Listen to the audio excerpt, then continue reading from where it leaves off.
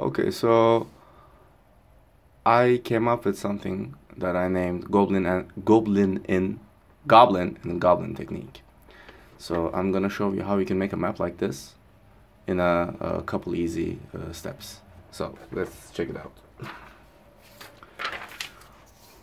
Okay, so the thing we need to do is, well, we need to make a goblin to start uh, with this map. So we do this one hand, another hand, a head, a feet, and another feet. And now the trick is you just have to follow uh, these outlines to make a cavern map. And uh, to make it like a cavern wall, I'm gonna do a little trick. Of course, it's not perfect, but it's gonna resemble a cavern wall. I'm gonna do a, a crossing line. So I start somewhere. I go here, for example, start. Then every next line is a sharp line that crosses my goblin. So this one crosses here, this one crosses here, boom, boom, boom, boom, boom, boom. So I will do it as fast as I can. Just to okay these lines don't have to be perfect okay some can be really short some can be really long okay just what matters is that you cross the goblin and some of them uh, well I'm not going to complicate things for you yet. Let's just cross cross cross cross cross cross. That's all we want for now. And just last one just boom boom. Okay so this is our cavern. Now we do another goblin. Where are these goblins coming from? I don't know. But we do a mini goblin now okay?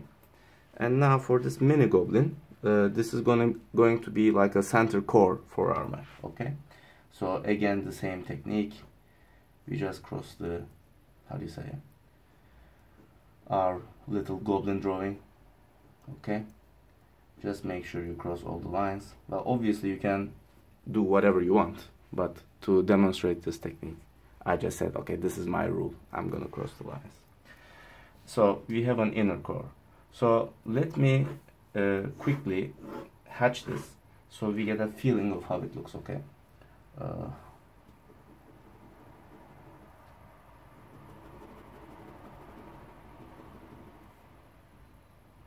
okay. If you don't want to watch me hatching just skip forward the video this is a low production video so I don't have video editors and all that jazz. Uh, so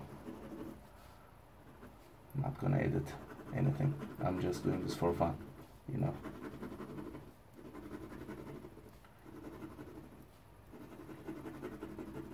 I leave this empty I will tell you later why course your hatches or whatever they're they don't nothing needs to be perfect. This is a D&D map for Christ's sake. We are having fun using our creativity.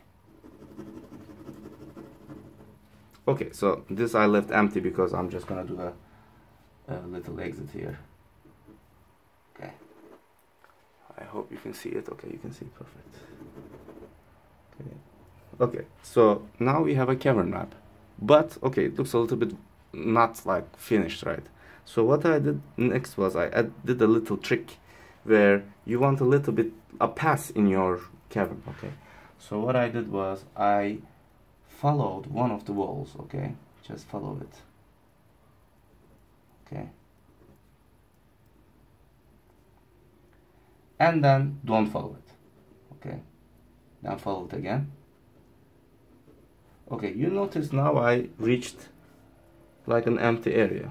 So what I'm gonna do is I'm gonna connect it as close as possible to my core. So I do this.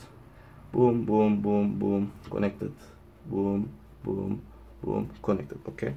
So we hatch again all right?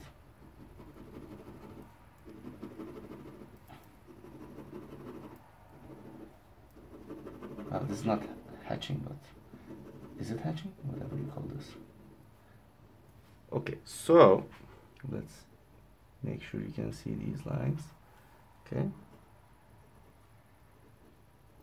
Okay so we have a uh, cover map that you can use for your game. Uh, obviously you can touch it up change things etc uh, for example I think this is too uniformed. I don't like this. So what I'm gonna do is I'm gonna just extend this wall okay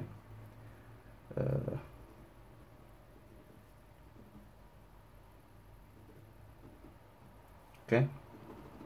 Just because I didn't like it. I extended it boom. So less uniform. So I don't like this here also let's make it a little bit narrow.